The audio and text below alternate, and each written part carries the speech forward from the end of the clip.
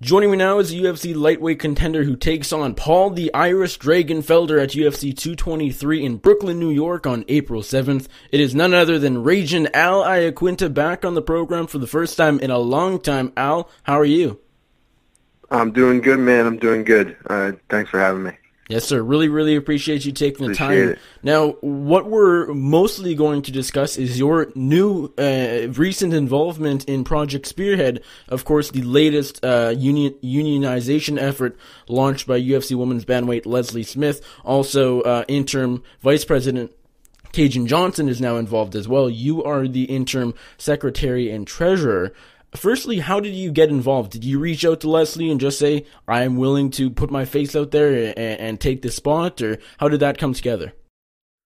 Uh, you know, I I listened to her on Ariel Helwani's show, and just the things she was saying, um, you know, really, I took to heart. I felt she's it's it's a good time for this now. Is it really is just a it it's something that needs to happen. It's happened in every other sport, and it's something that needs to be done in you know in the UFC.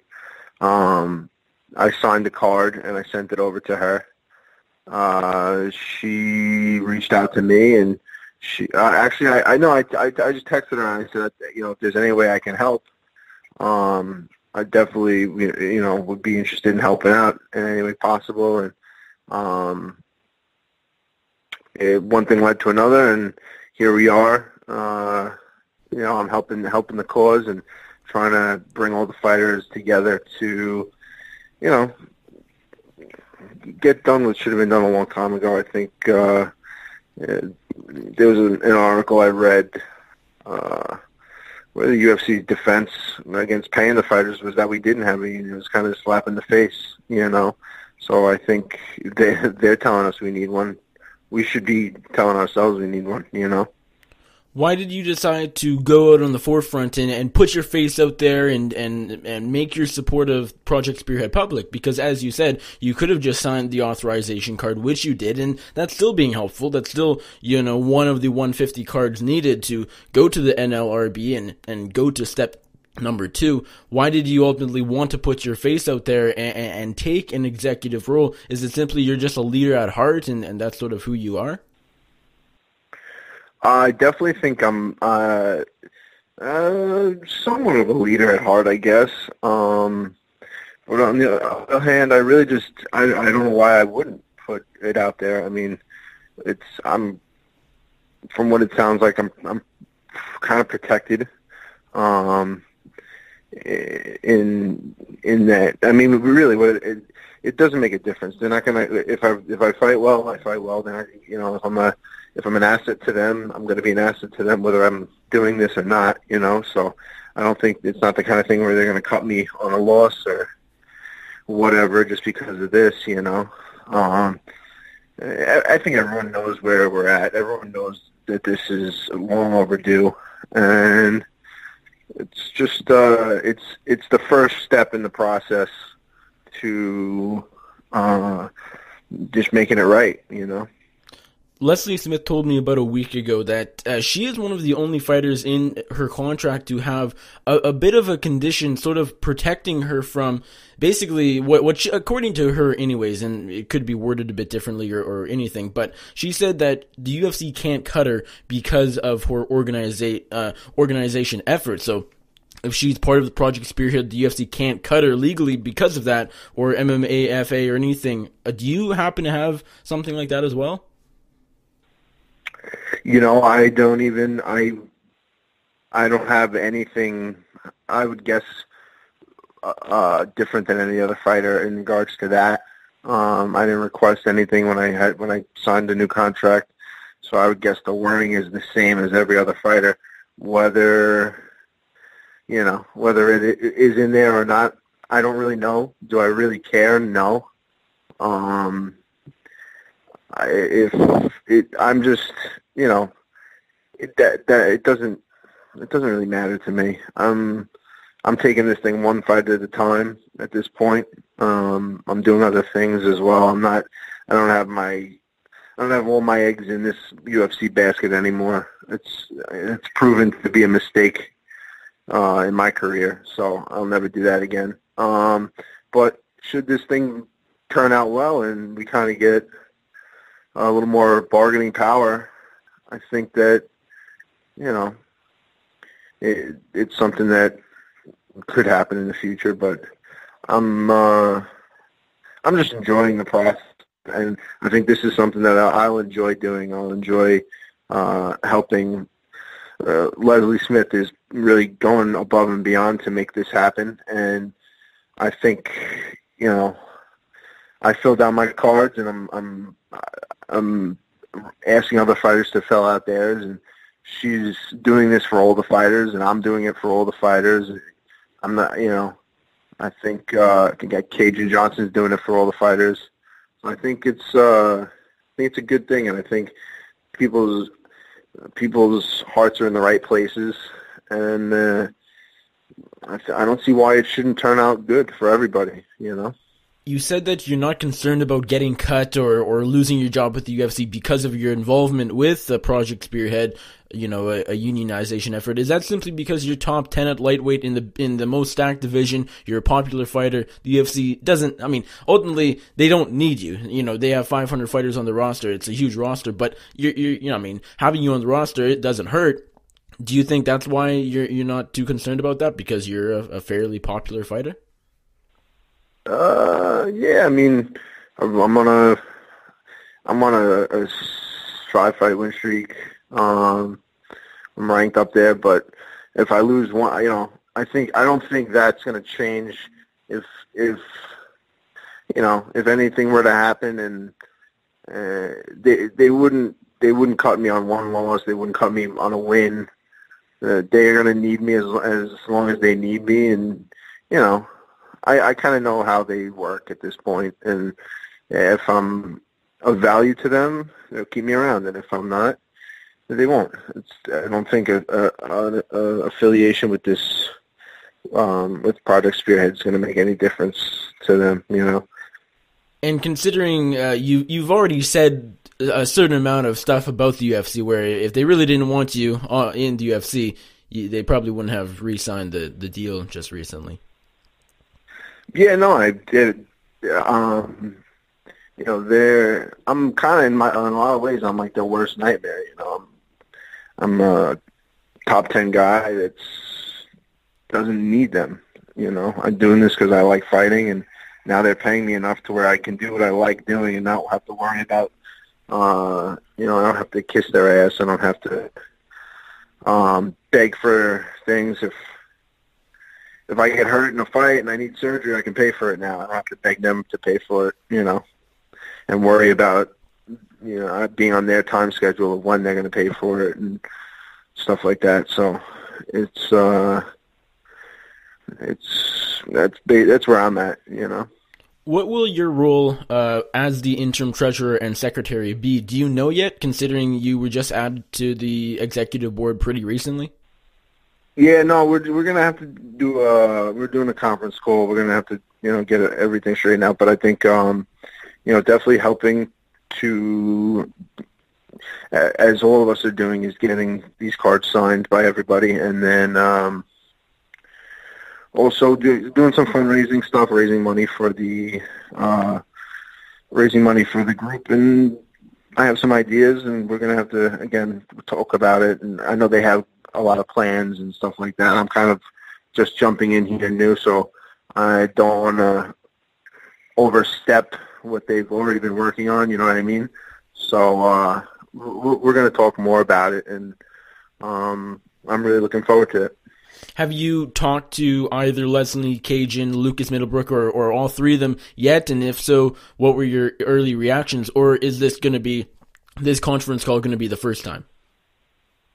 Uh, I haven't spoken to them. We're in like a group uh, group message. We're group group kind of chat, and they welcomed me on, and I kind of explained to them why I was coming on, and they're happy to have me, and they see that my heart's in the right place. I see their heart's in the right place, and I think we're coming together for a for a bigger cause, you know.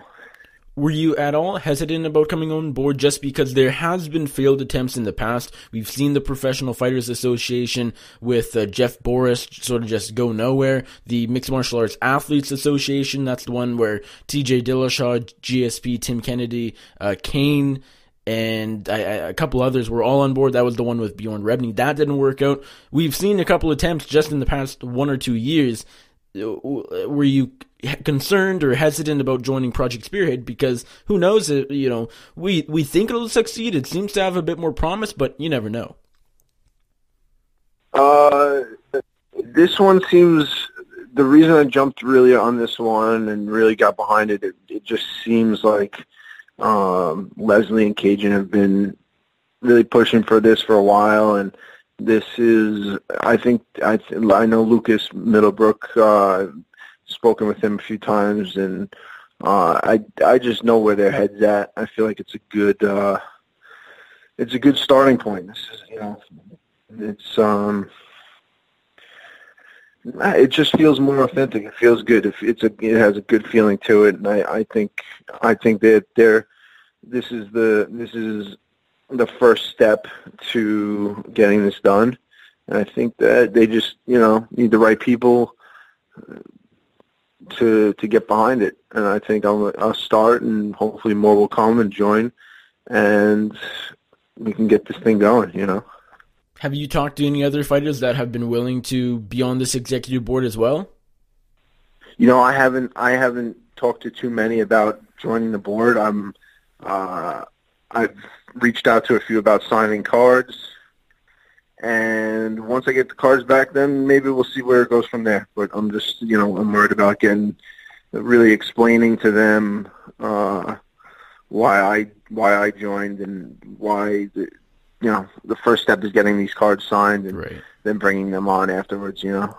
Fair enough. What is it going to be like, or, or already like, working with uh, fellow Raging fighter Kajan Johnson? Obviously, you guys have had your fair share of words in the past, uh, fairly recently, actually, probably within a year or two. Uh, what, what's that going to be like? He, obviously, he's talked about fighting you, all of that. You guys haven't seemed to love each other, but now you're on the same side. Uh, yeah. I mean, if we end up fighting and uh, we have a little more bargaining power, we'll both get paid a lot more. You know what I mean? I think a common a common goal can bring two uh, two foes together. We can get our job. We can get this done, and then if we want to fight, we can fight afterwards. But I think this is bigger. This is bigger than than that right now. Let's move away from Project Spearhead for a little bit and talk about Paul Felder. You're, of course, taking uh, him on at UFC 223 on April 7th in Brooklyn. Uh, do you like the matchup? I know it was supposed to happen last December. You pulled out of that fight. Uh, do are are you a fan of this fight? Are you looking forward to it? Oh yeah, I'm I'm definitely looking forward to it. I think it's a great fight for me. I think uh, it was. I thought it was a great fight for me back then.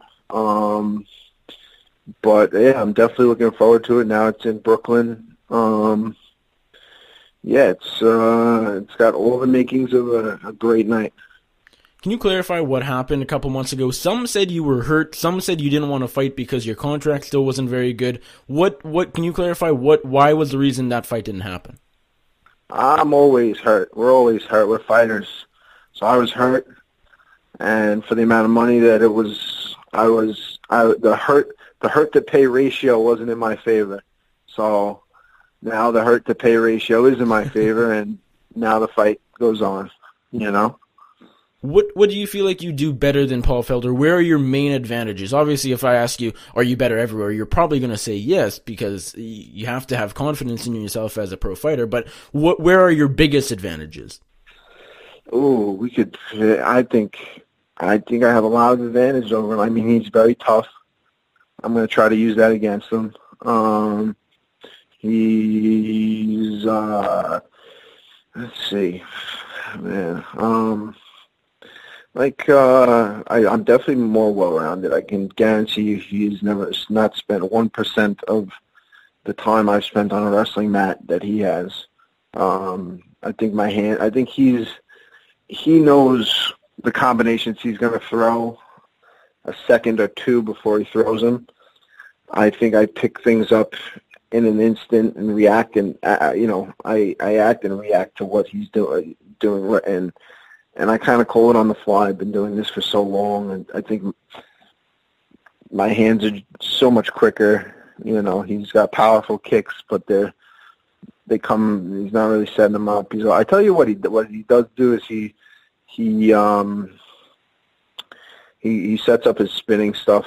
He's got some good spinning stuff. He's got some hard kicks. He's got he times elbows good when people come in uh, from the outside, and he times his knee, he times knees well. But that can all be easily counteracted with you know a few things. There's a few things I'm going to do that I think are going to change the change the the way that this fight goes, and it's going to be a good good night for me. I've watched his tape. I've seen the guys that he does good against and what they do. I've seen the guys that he he struggles with and what they do, and I think he's just him. He's he's not really doing anything different. He's getting a little bit better on the ground with his ground and pound. I don't really plan on being on the bottom, but if I am, I have plenty of stuff that no one's seen. That's the other thing. I've seen him fight his last three fights in the last year. He hasn't seen me fight in a year, and what he has seen was fifty something seconds, you know, and then it was two years before that. So he's seen he's seen fifty seconds of the last four years of my training. Um, I don't think he has any clue what I what I'm capable of. I've seen everything he does. I've seen the last three guys he's fought. Um, he's fought guys that you know were good, but then you know he hasn't fought anybody recently on my level, and he's never beat anyone recently. He's never in his life beat anyone on you know on my level. Um, I've been in there with guys that are as tough or tougher than him, and I've come away with the wins. So um, uh, it's a tough fight. It's a tough, you know, he's he's a tough guy, but you know, I'm I I'm just looking forward to the the, the second that I hit him and he gets all tough and walks forward to me with his hands down. Uh, he I see him do that in every fight, and I I lick my lips. I I will love if he does that. You know, he Ross Pearson hit him with a, with a, like a left hook, and he was like, oh, and he put his hands down. He kind of like walked forward. Ross Pearson, uh, I don't know what he did. He kind of like froze. I was like, yeah, try that against me. That'll be fun. Yeah, fair enough. Uh, so your current contract with the UFC, it's a one fight deal, correct? For me, in my eyes, it is a one fight deal. Yes. Okay, you say in your eyes. Does that mean that you're just you're you're taking this fight by fight, of course, but you actually have more than one yeah. fight on your deal? Uh, uh, yeah. There's okay. it's a four fight it's a four fight deal. Um, I don't actually don't even really know what we ended up. Um, what like the increment increments are or whatever. I kind of was just like I told my manager, it doesn't matter. I'm we're taking this one fight at a time. You know, I'll sit out for it, it, I'm just worried about this fight. I'm not worried about anything else. So after you, you, say you get past Paul Felder, you win a fight, you you win the fight, I should say. Uh, what comes next? You of course have three fights left under the contract. You haven't stayed super active, as we all know. You fought Jorge Masvidal April 2015, came back last April, two years later against Diego Sanchez, won early by knockout. Uh, you of course have your real estate business going on. You don't need to fight, as you already mentioned. Uh, what comes after this fight? Does it really determine what the UFC wants, or because you do have those three fights, are you probably going to honor that contract? Uh, I don't know. I'm gonna. I have a. There's a couple of houses that I'm gonna be listing in in the end of April coming up, and I'm going to Costa Rica with my girlfriend for my birthday uh, at the end of April, and we'll see. I don't know if if uh, you know. I'm not really looking past this fight. I'm just. I'm looking. I'm looking to fight and then enjoy my birthday, and if if um if we can make something work. If I, you know, I'm not, I'm not really. It, it all depends on this fight. Whatever happens this fight, then we'll go from there. You know what I mean? Fair enough. Uh, the main event of the card you're uh, fighting Felder on, of course, the highly anticipated interim slash undisputed lightweight title fight. We don't really know what it's for, but it's still going to be a good fight. Khabib Nurmagomedov taking on Tony Ferguson. Just because it's on your card on the same night as you're fighting Felder, what is your prediction for that fight? Uh, Khabib doesn't make weight Raging Al hops in there last minute and wins the title, knocking out Ke- Ferguson in uh, spectacular fashion from his hometown in Brooklyn. no, Good answer. Good uh, answer. that you know, you can you can always dream. Um, uh, I think I think Khabib is just he's uh, on a different level. You know, I think I think he's going to take it. So, how is the real estate business going?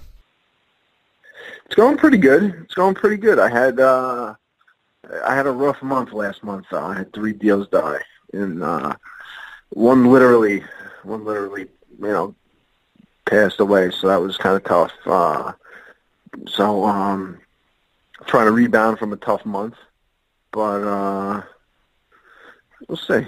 It's, it's I got some good good things coming down the pipeline, so I'm looking forward to rebounding. You know, I had uh,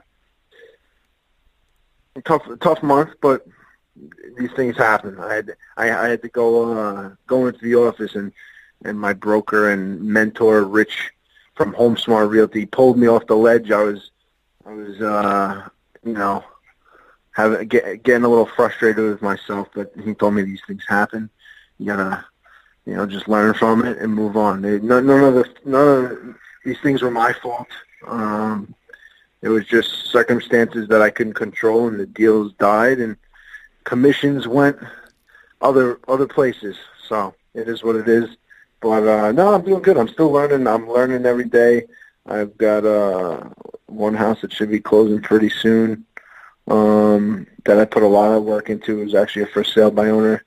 Uh, Vinny was trying to sell his house on his own after having it listed with uh, another agency. They they didn't do their job, didn't get it sold, and he was he hated real estate agents. He was never going to sign with another agent because he got locked into a long term contract with an agent that didn't do their job. So I said, Vinny, you know, listen, let me just give me 30 days to try to sell it. Only 30 day contract, nothing long term. We'll have a handshake if you see what I'm doing, what I'm supposed to be doing. You know, we'll, we'll extend it. And he was like, all right. He kind of liked the, you know, I kind of gave him the the UFC spiel. Like, I work hard. I'm the number 10 in the world. Why would you want to list with me? So he agreed to it, and we ended up getting his house an accepted offer and um, a bunch of nonsense. He has an illegal pool, or uh, it's getting variances on it now. So it was a long process. I learned a lot, and it should be closing somewhat soon. So I'm looking forward to that. Keeping my fingers crossed, everything keep, continues to go smoothly with it, and uh, you know, I'll be happy when that's done because that was a, that that would be a big feather in my cap to get that one done. And you're talking about Vinny Magalhaes, right? I wish. I would. Hey, if he wants to sell his house too, come on. I can get his house done. But no, this is Vinny. Vinny, I don't know his last. I forget it. But uh, Vinny down in Island Park. We're getting we're getting houses sold in Island Park, and it's a really beautiful house. I'm glad that he trusted in me to get it done, and I, you know, I proved to him that I'm worthy of, uh, you know, I'm worthy of of uh, I, I did what I said I could do, and that's all. That's all that matters, you know. Have you sold any uh, houses of fighters? No, no. Uh, I sold. No, I haven't sold any uh, fighters' houses. No. Okay. Um, you know, a couple people from the gym.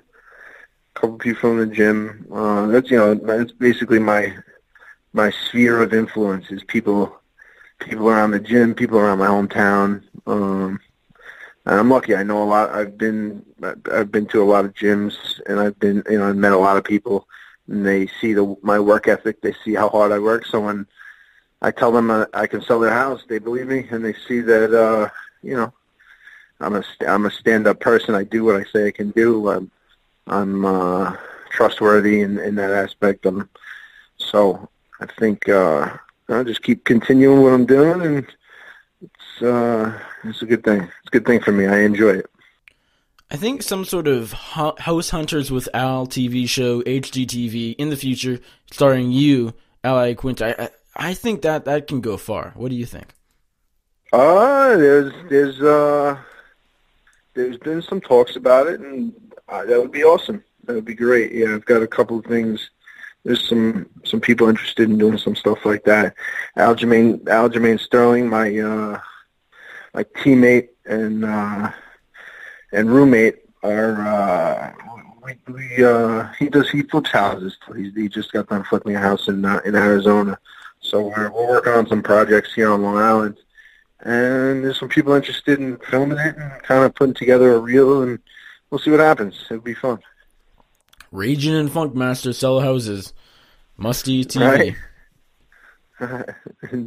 it, it would be interesting for sure.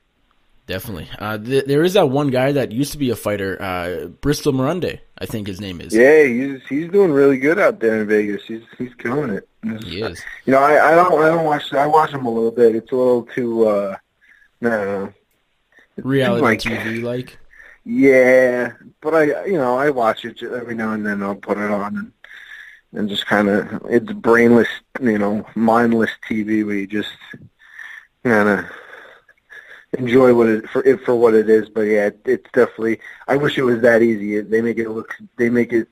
It seems very. uh It seems like there's no stress involved when they're doing it. When when it's uh when it's real life, it seems a little more stressful. And when your money's on the line and, and stuff like that, it's uh it's a little it's a little more real. You know. Have you been to the Performance Institute yet? And if so, what did you think about it? I was the only time I was there was when I um when they had that retreat, the athletes retreat.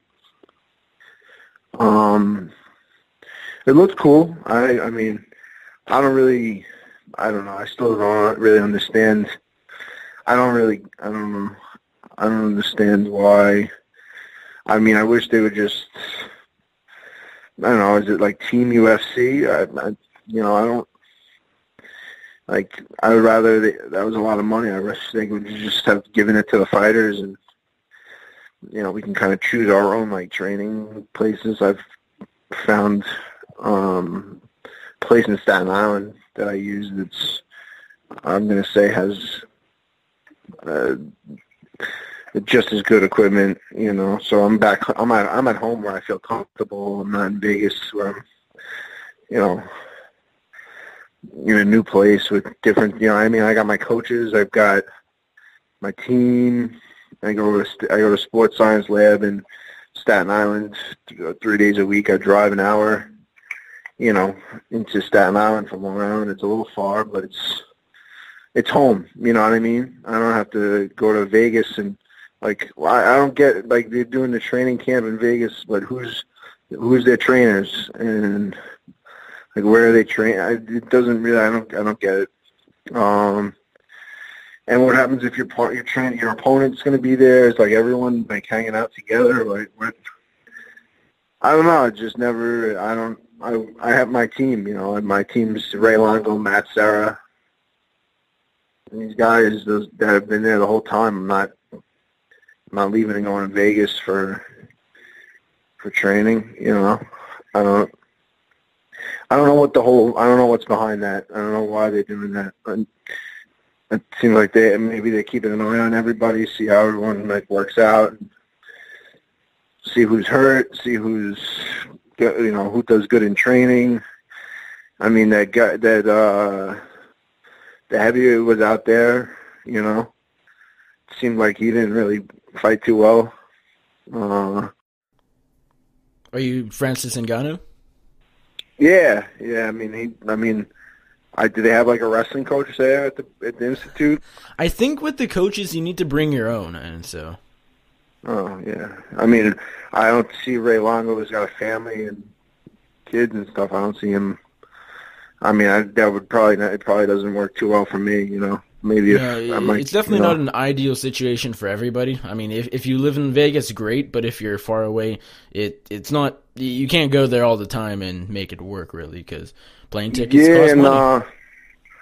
Yeah, no, it'd be great if if I could like you know get some extra money to pay my trainers more. You know, they're the ones that really deserve it. You know, but um, yeah, I don't know. I guess that's there. You know, there'll be people like there's people that benefit from it. I'm sure, but none there's. I don't see myself. It'd be it'd be tough for me to go out there when I have a whole life back at home. You know, I'm I'm doing the real estate thing, and yeah, I don't, I don't know, I don't, I don't know, the, I don't know, I don't understand it, but maybe there are other guys that do and they get it. I don't, I don't. The reason I asked you about the Performance Institute was mainly um, to put a real estate twist on it. I, I, don't think you do commercial real estate. Real estate. Feel free to clarify if you actually do, but I, I would assume you focus mostly on just houses. But what? Uh, so you've been there one time. You said for the athlete retreat back in May of last year. Can you give me an estimate? Like, okay, so they put 14 million in it. What, what's the value on the market? Can you can you even think of a number?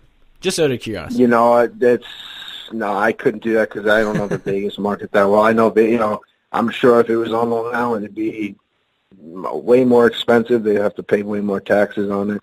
Vegas is a little different story, but again, that's you know, commercial real estate something I've dabbled a little bit in, but I have never. I've uh, you know just starting to kind of get into it a little bit, but not.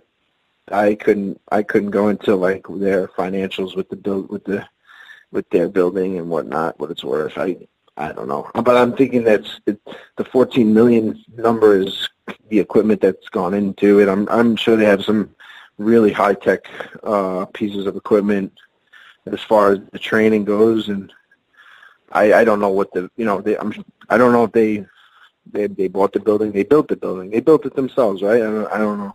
As far I as I know, yeah. Into, yeah, I don't. I don't know. I couldn't put uh, any numbers on anything. Well, Al, thank you for taking the time. Really appreciate you, uh, you, you, you know, you agreeing to the interview and, and catching up with me. I, it was fun. Sorry for keeping you a little while, but there was a lot to talk about. Certainly. Um, last question for you: UFC 223. You're taking on Paul Felder, Brooklyn, New York, April 7th. How do you get the job done? I get it done, man. That's how. That's it. I don't know. I don't know how I'm going to get it done. I'm going to try to make it look easy. I'm going to try to make it look effortless, but if it's not, I'm going to be ready for an all-out war. So however it, however it comes, I'll be ready. Alrighty, Al. Thank you very much for the time. Before I let you go, remind my audience where they can find you on social media if they're not already following you, and if there's anybody you'd like to thank or give a shout out to, the floor is yours. I would uh, like to thank Sports Science Lab in Staten Island. Again, those guys have been behind me the whole way. Ray Longo, Matt Serra, uh, American Ethanol has been a sponsor of mine that helped me through a lot of tough times and stuck by me the whole way. So definitely give a shout out to them. You can find me on Twitter at Quinta, Instagram at Alayaquinta, and uh, on the World Wide Web at HomeKnockout.com. That's all I. That's all I got.